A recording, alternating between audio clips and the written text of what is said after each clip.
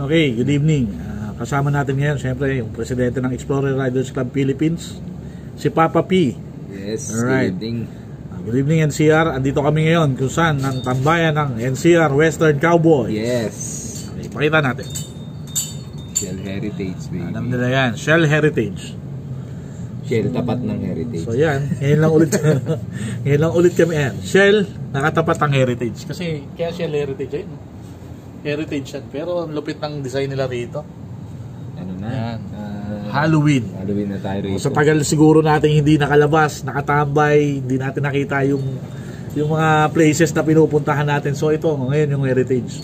So kasama ko si Pres. Ah, yun nga, ah, nabalitaan natin yung nangyari sa kapatid natin na si Sir Fred Vitore ng Rizal Chapter ah, Press.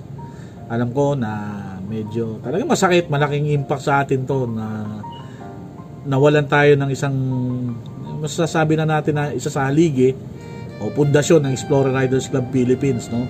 Nung tinatayo pa kasi ito parang ito rin no? Ito rin yung una na nagikayat sa mga nagme-member. So ako kasi ang number ko 3 digits 300 plus na ako eh. 339 ito si Prest number 33 2 digits oh, ngayon ito si Papa Fred naman 2 digits lang din to parang 75, 75. yan so talagang pioneer umuusbong pa lang ng Explorer hindi pa siya ganun ka laki eh nandun na yung ating Sir Fred no? Since day one. Oh, since day one Since day one ni XRCP na, since day one na sumali siya, hindi nagbago yan hanggang Oo. until now. Kaya nga, sabi ko nga noon, nung ah, bago pa ako, nung bago pa lang ako tumatambay, bilib ako sa mga to kasi actually galing, galing silang Rizal. Mm. Bababa sila ng Macdo Makapagal. Gaano kalayo yun. Tapos minsan, nauna pa sila sa meeting area. Talagang malupit. Sila pa rin yung isa sa mga nag-rescue noon na talagang masasabi mong from Rizal, rescue ka, nasa Pasay ka, o Makati, o Manila. Isa lang rin sila sa tumatakbo talaga. So, ito nga, ah, lately, ah, ah, nung Friday, Sunday, Sunday. anong Sunday, Sunday pa siya na uh, cardiac arrest. na cardiac arrest, then, yun, ah, wala tayong alam lahat, no? Parang, ang bilis eh. So, walang walang walang public post. wala, wala family, talaga. Parang, hindi pinalam din ng Oo, hindi hindi natin talaga alam lahat. So sa akin, ang masasabi ko bilang ah, elite ng Explorer ako bilang number 339 niya, kung ano paano ko siya nakasama. Sa akin kasi parang yung pag-welcome niya sa grupo. Yung i-welcome ka niya kahit na hindi ka pa niya kakilala, lapitan ka niya, kamayan ka niya, kausapin ka niya, tanungin ka kung okay ka lang ba. Laging ganun eh. So kaya hindi ako nahihiya na tumambay noon. Isa sa hanap-hanapin natin yun, syempre. Yung pag-alala sa atin ni Sir Fred. Eh, yun kasi nasanayan ako, Sir Fred talaga ang ano ko sa kanya eh. Kasi yung respeto, doon ang taas eh. Parang talagang, ah, yun nga, eh, hindi ko, hindi ko siya tinatawag na Pops. Parang iba kasi talaga yung ano eh, yung, yung, res- yung level ng respeto talagang ibibigay mo. Ibibigay mo sa kanya. So, ako bilang 339 niya, na elite, yun, nakasama ko siya. Hindi man ganun ka, lagi ko siyang kasama. Kasi Rizal chapter siya at ako naman, eh, hindi naman ako biyahero noon na talagang nakikipag-anuan sa biyahe. Last na nakasama ko siya is sa ride ng Tacloban. O, kung saan sila yung naunang tumawid eh. Sila yung unang, unang umuwi. Sila rin yung unang umuwi. So, dalawa sila ni Rene. Ah, tatlo sila. Tatlo. Si Rene Si kasama niya. Alvin. Ah, Alvin ng Rizal chapter. So yun nga, ah, yun doon pa lang makikita mo naman sa kanya pagdating sa rides. Nakikita mo nga lagi siya nasa tail. Hindi ko rin maisip bakit ba na, lagi nandun si Sir Fred. Ah, mabagal ba siya magmaneho ano ba? Pero nung naisip-isip ko, talagang concern siya sa ating lahat. Ibig sabihin, hindi niya tayo pinababayaan kada biyahe natin. Di bali ako mahuli, tayo safe lahat. May nangyayari na nga sa kanya, hindi pa natin alam. Oo. Yun Diba? yung mahirap. Yun, yun, yun, yun. Uh, uh, tail si Sir Fred, minsan dalawang oras. Mo ba nung Ilocos tour? Oh, yun. Di ba siya, yan yung last ride. Oo, yung together- last ride niya. Together with Sir Fred. Oo. Oh, na umuwi siya agad. Oo, oo Oo. nga, oo. Hindi na recognize ng grupo Ayun. na siyempre tailman, Oo. siya yung huling-huli. Nagka-aberya siya Oo. dahil ayaw niya maging cause of delay. Yun nga.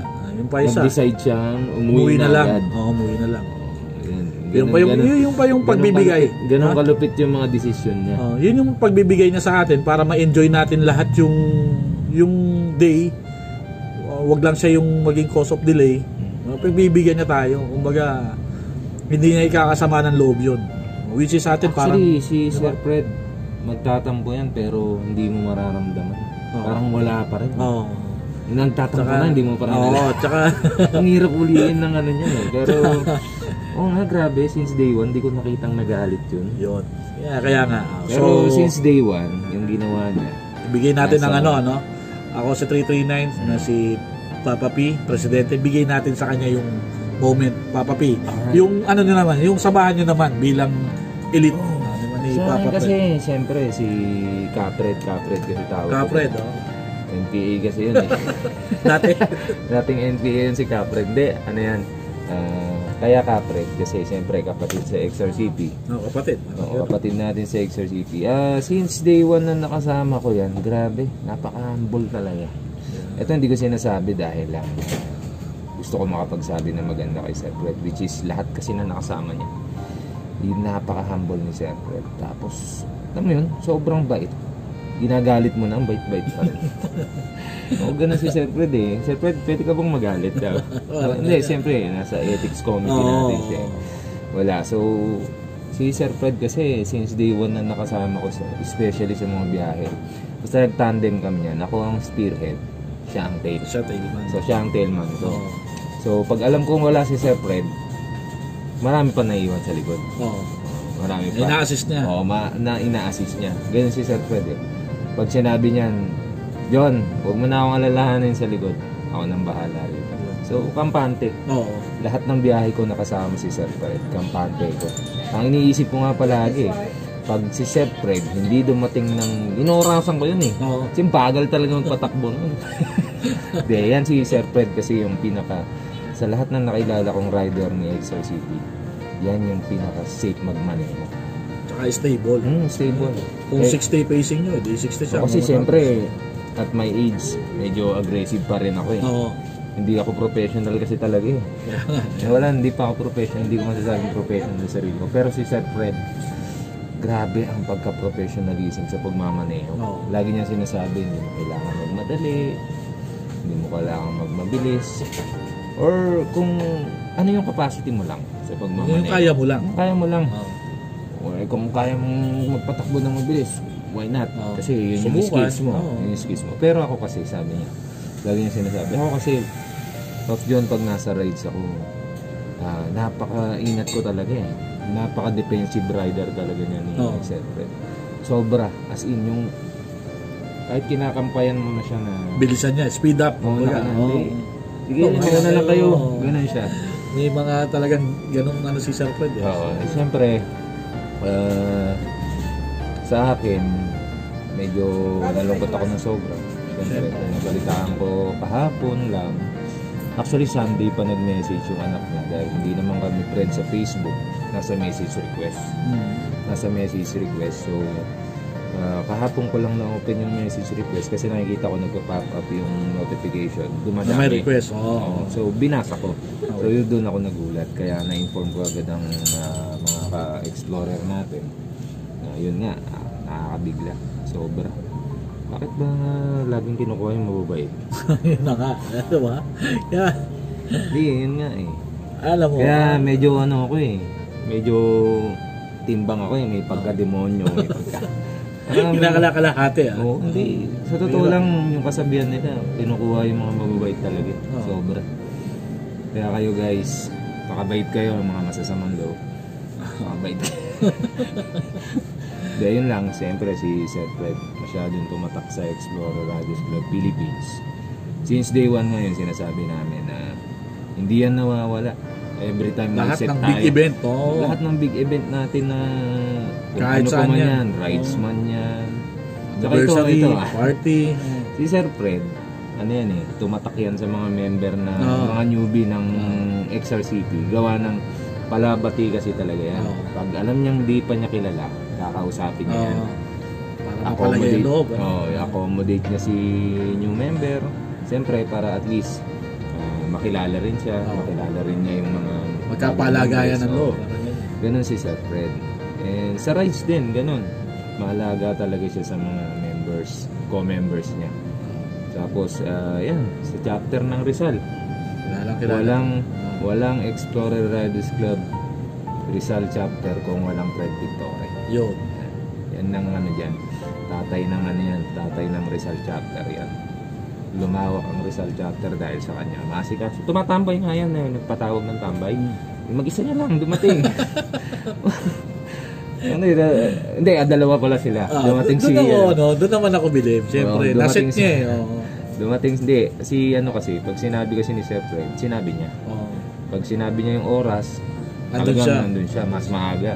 Pag sinabing 5pm yung meetup, 4pm nandun na yun eh. Ganun si Sir Fred eh. Pag matanda na kasi ganun talaga yung mga ano, ugali. Hindi, ganun si Sir Fred. grabe. Advance lagi siya, Fred. oh. Grabe ganyan si Sir Fred. Sobrang, ah, actually yung naramdaman ko yun. Ano, iniiyak ko na lahat kahapon eh.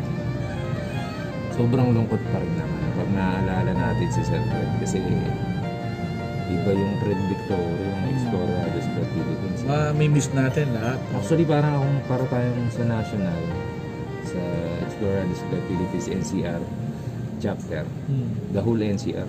Pilay tayo. Oo, totoo. Ikaw Masyado tayo nagpilay. Kaya nga, for me, uh, as uh, member of Exploradus Club Philippines na kasama si Sir Fred sa grupo, eh, napaka napaka palad Oh, especially now na kaya lang napakaalat napakapalad na napakaalat na kung kailan ako naging national president doon naman siya wala Oo. Kailangan Even- pa natin siya. Dapat. Oo, marami pa sa marami may pinag-usapan kami. Ano ha, hindi through kasi kami ni Sir Fred, hindi kami nag-uusap ng through social media eh. Oo. Kasi sabi ni Sir Fred sa akin, Basta yung pag mag-uusap tayo, huwag na sa chat, tinatamad ako eh. tinatamad daw yung chat kaya personal. Sabi ko, sige Sir Fred, pag nagkita tayo. Kaya pag nagkikita kami ni Sir Fred, marami kami pinag-uusapan tungkol sa grupo. Oo. Tungkol sa grupo lang, kasi grupo lang naman tayo eh. Oo. Yung iba kasi, pag nasa grupo, iba yung mindset eh. Oo. Hindi pare-pareho eh. Sabagay. So hindi rin natin masisi na may mahanapin pa silang masigit para sa grupo. Pero si Sir Fred kasi ano eh, napakalawak ng pangunawa ng matandang Ayun. yun. Grabe yung matandang yun, napakalawak. Talagang Kaya advisor, advisor Oo. din kasi talaga. Actually, ah, yung pagsunod ko sa kanya na yun, naging maganda yung result. Nakabuti. Nakabuti. Nakabuti. Kaya, ayan, uh, kapred, mamimiss ka namin sa Explore Riders Club Philippines. So, Sobrang, Yun? sobra ako nalulungkot. Okay guys, on behalf of Explore Riders Club Philippines, sa ngalan ng ating presidente na si Prespio, si Papa P, playback natin yung nangyari, no? Playback natin yung history of Papa Fred. Oo. So watch this guys, okay? So watch this now. Bye-bye. And I'll tell you all about it when I see you again. We've come a long way from where we began. Oh, I'll tell you all about it when I see you again. When I see you Who knew? All the planes we flew, good things we've been through. That I'll be standing right here talking to you about another path. I know we love to hit the road and laugh, but something told me that it wouldn't last. Had to switch up, look at things different, see the bigger picture. Those were the days, hard work forever pays. Now I see you in a better place. See you in a better place. Uh. Can we not talk about family when family's all that we got? Everything I went through, you were standing there by my side. And now you gon' be with me for the last ride. It's been a long day without you, my friend. And I'll tell you all about it when I see you again. See you again. We've come a long way came a long way. from where we began. You know, we Oh. I'll tell you all about it see you again. Let me tell you. When I see you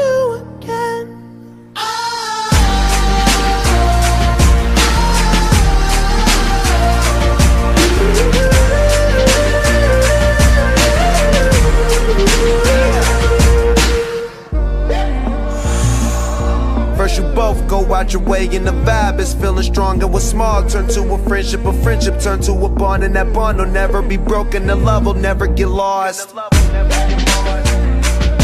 And when brotherhood come first, then the line will never be crossed. Established it on our own when that line had to be drawn, and that line is what we reach. So remember me when I'm gone.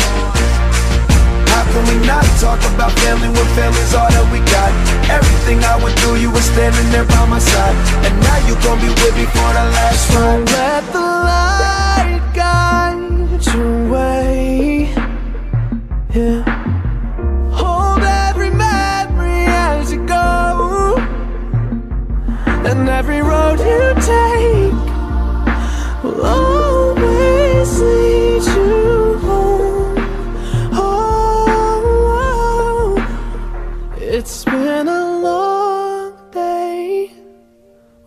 you, my friend.